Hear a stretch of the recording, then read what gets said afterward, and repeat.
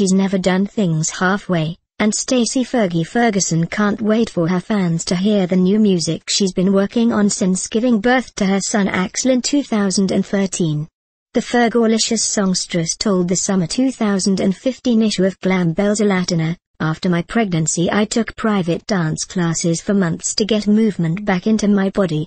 We built a dance studio in our house, it's the best gift I've ever given myself. I didn't want to be awkward and embarrassed in front of people, so I worked the kinks out at home.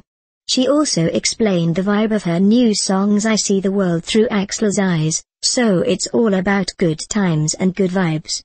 With all the negativity in the world, I want to do something positive,